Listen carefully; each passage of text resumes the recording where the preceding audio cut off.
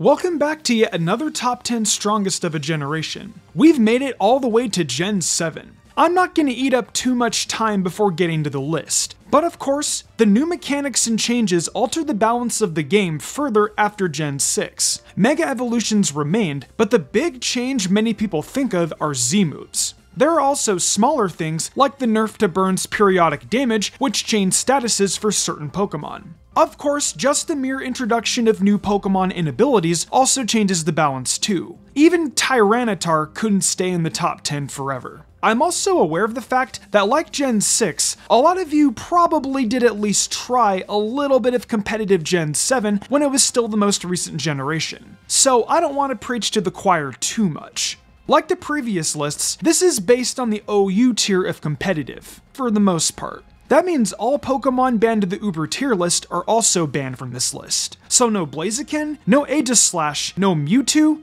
Kyogre, Mega Gengar, I think you know the drill by now. So let's get right into the honorable mentions before we start the list. Mega Metagross would be an easy one to put in the top 10, but it got banned to Ubers eventually during its OU run. So this honorable mention is all I can do for it. Zygarde, basically the same situation as Mega Metagross. Dugtrio. Not a great Pokemon and is grossly matched out by everything in OU. However, Arena Trap was used a lot in the upper tiers anyway, until OU no longer allowed it. So I feel like I have to give it a mention here. Mega Latias. I feel a little dirty leaving this one out of the top 10, but it just barely missed out for my list. It's very valid to put in your top 10, however, and is pretty common to see, being more well known for its utility options this time around than how it was often used in Gen 6. Other honorable mentions include Serperior, Hawlucha, Mega Scizor, Mega Charizard X and Y, Mega Swampert, Mega Mawile, Volcarona, Tangrowth, Mega Alakazam, Gliscor, Clefable, Garchomp, Excadrill, Rotom Wash, Celesteela, and yeah. There's a lot of strong Pokemon, you guys. This was the last generation where all Pokemon were usable, and as a result, the roster of viable OU Pokemon is wildly big. So if I didn't name your favorite, or yet another very powerful Pokemon, please understand. Anyway, let's get right to our number 10 slot.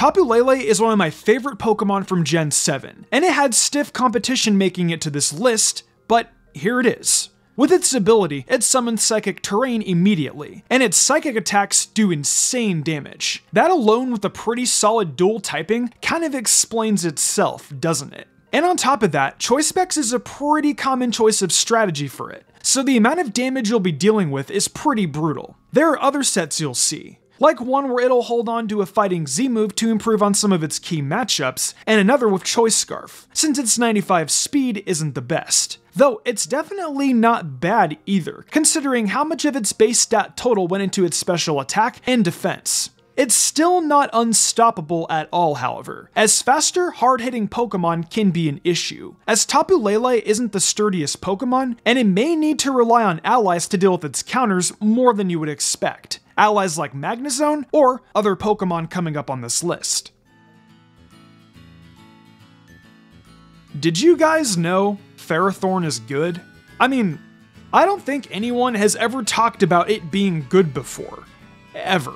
Especially how it's a good hazard setter, has a good typing, as long as it's not taking fire and stuff. Yeah. I'm sure you've never heard of this incredibly niche Pokemon in competitive before. You know how it's got like the perfect combo of options like Spikes, Stealth Rock, Leech Seed, excellent defenses, kinda bullies Mega Swampert? Yep. Oh, and that incredible Iron Barbs ability? Yep. This is the first time anyone has ever talked about it. But no, seriously, there is almost nothing different about what makes Ferrothorn great in this meta. It's been consistent in its role since Black and White. If you don't have a reliable fire type to fight it, or fire coverage, you're gonna probably have some serious problems. Not much else to say here.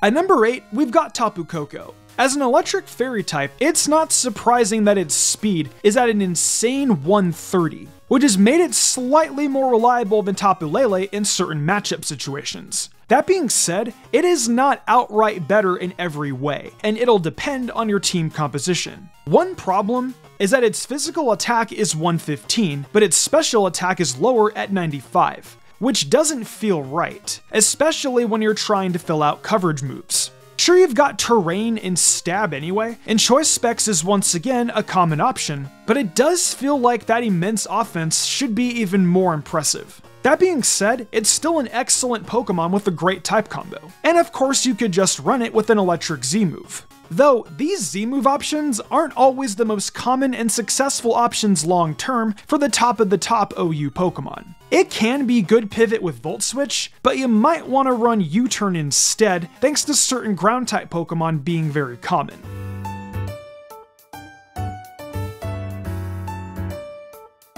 Hey, it's Heatran! Again, this is another one of those Ferrothorn situations where this Pokemon has just been able to stay so good for so long for mostly the same reasons. Hey, if it ain't broke, don't fix it. Like Ferrothorn, even its move options haven't changed much. It still has Stealth Rock options, it still has Lava Plume as an option too. You'd be fooled pretty easily thinking that Gen 7 just didn't change the game at all when you look at certain things. I'm not sure which is more common between Lava Plume and Magma Storm, though Magma Storm is definitely worth it when you get it working. It's just not always reliable. What has changed more noticeably is the introduction of newer counters, like Mega Swampert, who can usually switch in fairly comfortably against Heatran. The other thing is that an alternate option is to make it hold a covered Z Crystal. But it does become very predictable if they get the chance to notice that Heatran isn't holding leftovers its most common and reliable item. And that's the item I'd prefer to have on it, as the old similar general approach to Heatran is the one I personally have always liked.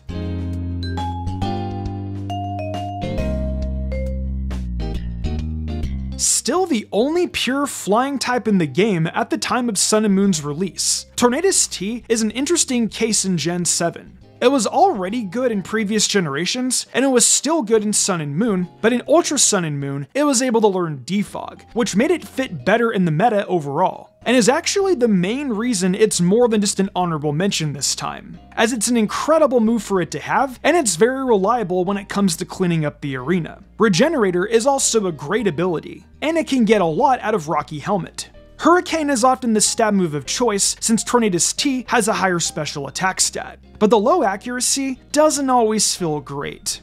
U-turn also makes it a solid pivot, and makes its ability feel even better than it already is. My main complaint, I suppose, would be that unless you focus your EVs into HP, it feels a little fragile with that base HP, and even then, I would have preferred if it were bulkier, as it'd get even more out of Regenerator. And it also relies a lot on the fact that it's so fast. So if it gets paralyzed or has to deal with something faster, it can be a serious problem as electric Pokemon generally don't fear Tornadus, and Pokemon like Tapu Koko aren't exactly uncommon to see.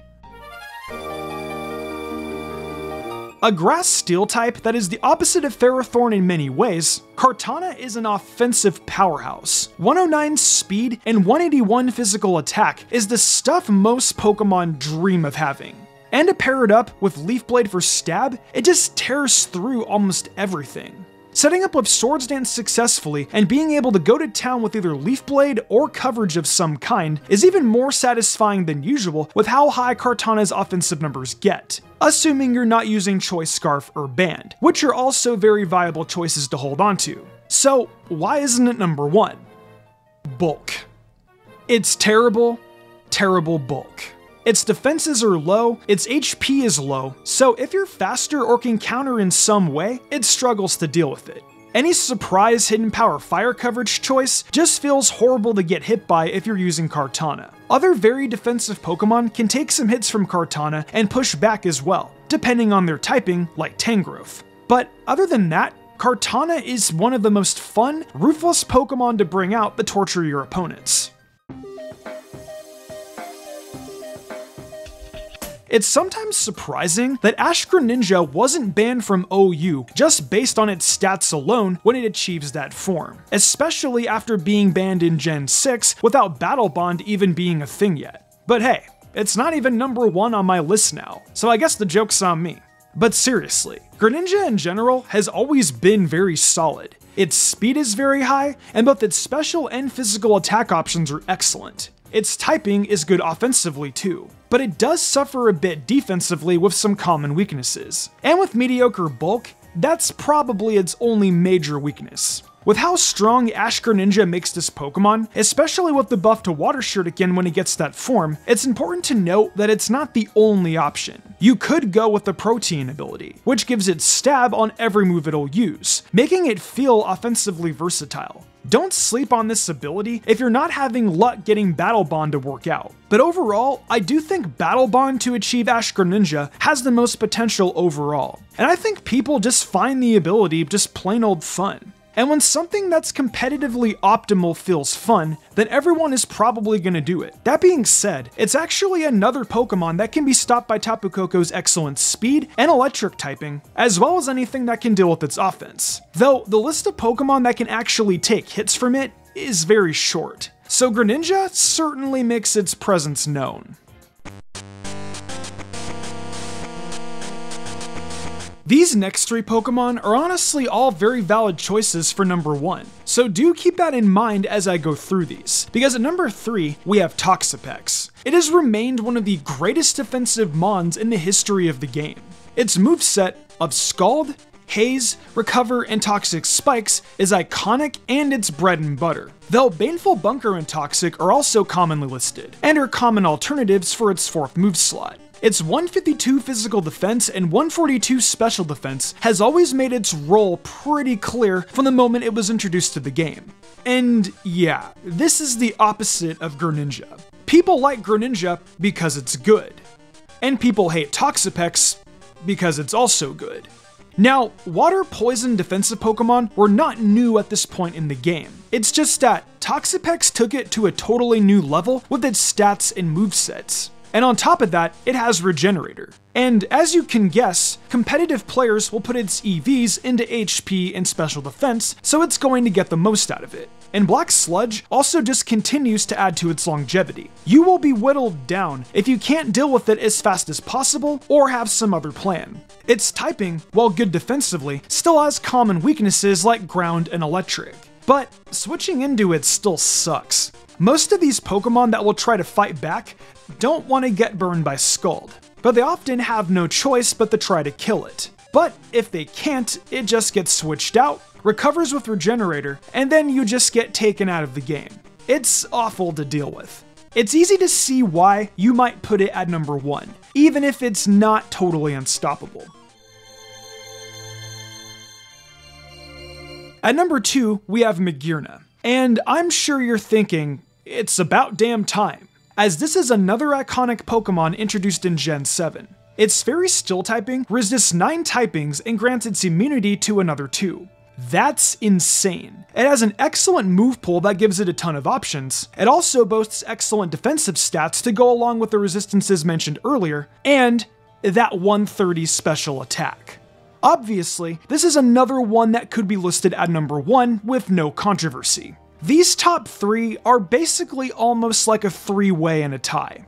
Anyway, having the move shift gear is massive, increasing your speed by 2 and your attack by 1. Well, there's a reason so few Pokemon have a move like this, though you're primarily using this just for the speed on Magearna. It's pretty common to see this Pokemon also just loaded up with coverage moves rather than focusing on stab, but you don't need to go that route. It just has a very solid track record in the metagame for Sun and Moon, and later generations use stab attacks more often. Though it's long since been banned to Ubers in those games. Magearna is just one of those things that can be played in more ways than most as far as move selection goes. The same also applies for items. Want to use a Z move? Well, sites like Smogon will list an electric one, but you really do have a bunch of viable options with that. Leftovers, an assault vest set? Want to use Pain Split and Calm Mind? Also, there's the Soul Heart signature ability, which only boosts its offense further throughout the match. It's a rough Pokemon to try to deal with in the late game, on top of its already very obvious and mostly straightforward strengths. That being said, the Steel Fairy typing, as excellent as it is defensively, is still weak to ground and fire, and people will have those attack types ready. Mega Charizard X and Y can also be tricky if you don't have the coverage for it, as they naturally outspeed Magearna, though it's often that it will have a coverage move to potentially deal with it otherwise. Overall, it's another Pokemon introduced in Gen 7 that's incredibly dominant, and some may even say it could be labeled the best in the game. I was gonna open this entry up with some joke about a random Pokemon being number one. Something I've of course done before. But man, could it be any more obvious that the number one spot is gonna be Lando T? It's not only just as good as the previous entries, but it manages to be at that level while being used constantly. Usage rate is not everything. It doesn't fully define if a Pokemon is good because the statistic alone doesn't tell you how much those players are actually winning with those Pokemon being a part of their synergy. But yeah, Landorus T still wins a bunch of games in Gen 7, despite so many teams having strategies to attempt to wipe it out. It's top tier, and admittedly, a safe pick for the top spot for this list. But I do think it is the right decision for this list. Many of its excellent movesets use a lot of the same philosophy as in Gen 6, so I won't repeat myself and many others who have spoken highly of Landorus too much. I will, however, reaffirm just how good its ground flying type combo is. Earthquake as stab is never something to complain about, especially with that 145 base attack power. Yes, it gets slammed hard by ice. Yes, it's not the fastest or the bulkiest, but once again, it has just the right stab move, stealth rock, U-turn and explosion set option, choice sets, Z move sets. Yeah, if Gen 6 for Landorus was like the first Michael Jordan 3-peat, then Gen 6 was likely the second half. The results are there for it, and it fits on nearly every team. And like Swampert in Gen 3, it forces Pokemon to often keep a coverage move specifically to try to counter it in a similar way, just with ice instead of grass. Essentially compromising what could be a better moveset otherwise just because of one Pokemon's existence. I feel like in some ways, it's actually kind of better in the Gen 7 meta than the Gen 6 meta, because in modern Gen 6, it's not quite what it was in its heyday. But in modern Gen 7, it's still among the top 3 with our previous two entries. It's never stopped seeing that same level of success. And you know what I just love to say. The numbers don't lie, and they spell disaster for you and those are the top 10 strongest Pokemon in Gen 7. It wasn't too hard to decide on the initial Pokemon for this, but I have to admit, getting the order down felt a little tricky for me. But what do you think? Did you agree with this list? What Pokemon did you like to use in Sun and Moon? How do you feel about Z moves as a mechanic? What does your list look like? Let me know in the comment section below.